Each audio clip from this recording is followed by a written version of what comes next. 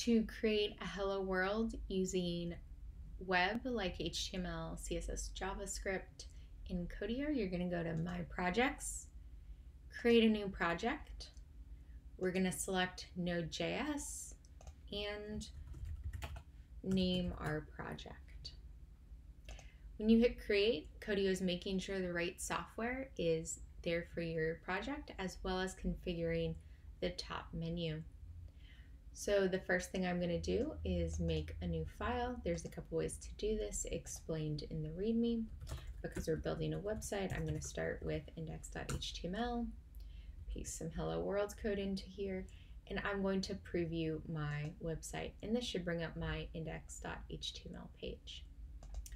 If I wanted to look at just a single page, like a secondary page, so let's call this like hello.html. I can do the same thing. And instead of previewing the site, I can actually preview just my current file if that's all I want to check.